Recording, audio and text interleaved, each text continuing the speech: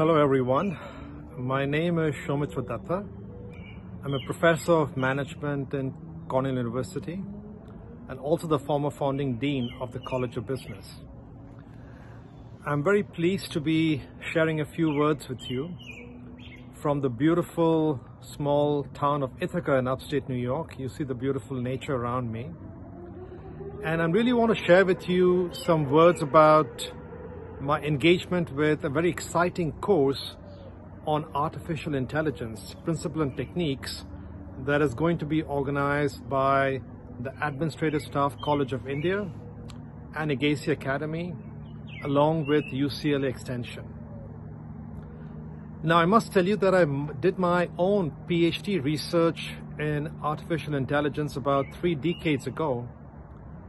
And little could I ever realize that AI would have, in fact, today reached the point of success where we find it impacting organizations, impacting society in a way which was pretty unimaginable before.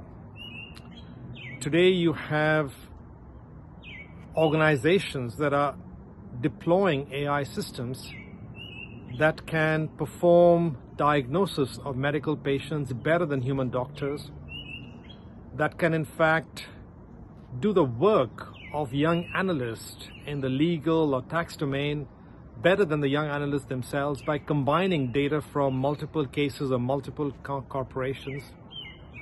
And you have organizations that are really pushing the frontiers of automation in terms of how AI can improve productivity and in fact help empower people.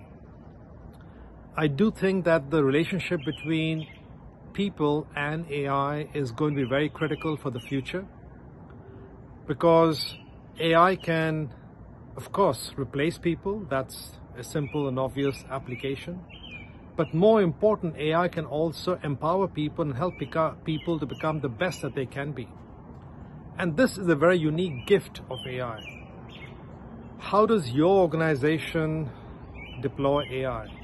How will you ensure that you're able to use the power of AI to benefit your customers, to create new innovative products and services, and to be able to do things that give you a competitive edge in the marketplace.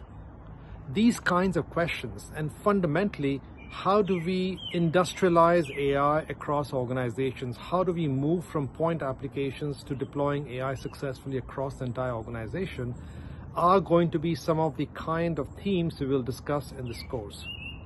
I strongly encourage you to enroll in this course. We will discuss questions around artificial intelligence, machine learning.